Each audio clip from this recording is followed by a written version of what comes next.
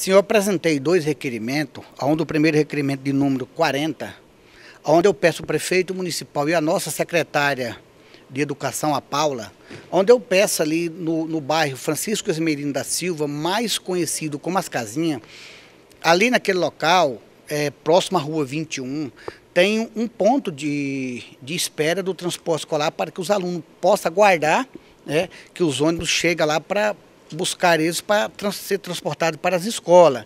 E esse, e esse ponto ele está necessitando de uma reforma, uma pequena reforma, uma pintura, um conserto ali num, em uma telha. Então é um requerimento bastante simples, estava passando lá é, pela rua, tinha algumas pais de alunos lá, me, me pararam e pediram né, essa reforma. Então é um requerimento muito simples e que vai ficar muito barato a, ao município. E o outro requerimento é no bairro Nossa Senhora Aparecida, é onde tem um ponto do transporte escolar, só não tem a cobertura, mais conhecido, um ponto de referência seria próximo à igreja do Ivon Ribeiro.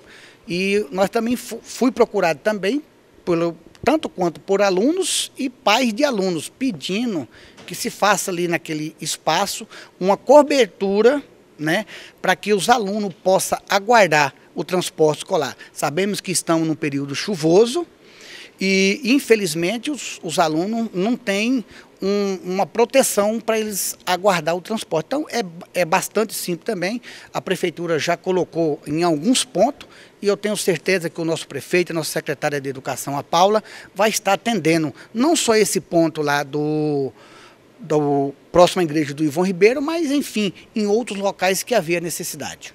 Vereador, hoje foi homenageado aqui o juiz da cidade, doutor Pinheiro. O que você acha dessas moções de aplauso que são dadas às pessoas que fazem a diferença por Alto Araguaia? Sim, eu acho muito importante. Inclusive, eu tenho dito na minha fala o seguinte: eu fico muito feliz quando alguém recebe um membro do nosso município, pessoas que estão tá aqui de passagem, que vêm como de carreira seria, né? Como que nem o doutor Pierre, eu sempre digo o seguinte, eu fico muito feliz quando eu vejo alguém recebendo realmente uma moção de aplauso, um título de cidadão araguaense, não por politicais, mas enfim por ter feito a diferença. E na noite de hoje, votamos uma moção de aplauso, né? ao juiz de direito da comarca de Alto Araguá, doutor Pierro.